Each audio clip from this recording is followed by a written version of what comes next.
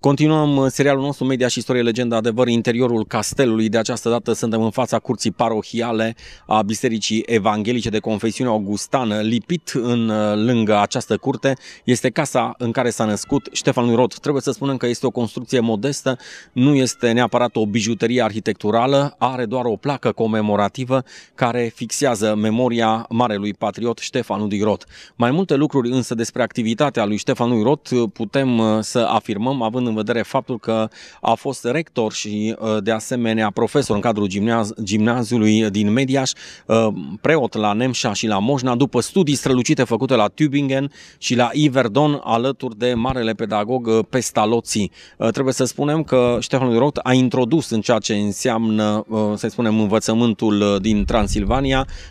mult progres, reforme pentru ceea ce înseamnă artele liberale. Mai multe însă trebuie să observăm pe ceea ce înseamnă înseamnă fațada uh, casei, după cum vă spuneam, construcția este uh, modestă, uh, sunt doar două fereste de ancadrament și lângă acesta lipit este turnul funarilor, vă spuneam, cu această scară mică de acces în ceea ce înseamnă poarta de intrare spre turnul frânghierilor, numit astfel, după cum vă spuneam, de breazla care i-a asigurat apărarea și cel care are șapte niveluri, ultimul dintre ele scos în rezalii care se sprijină pe o friză de console.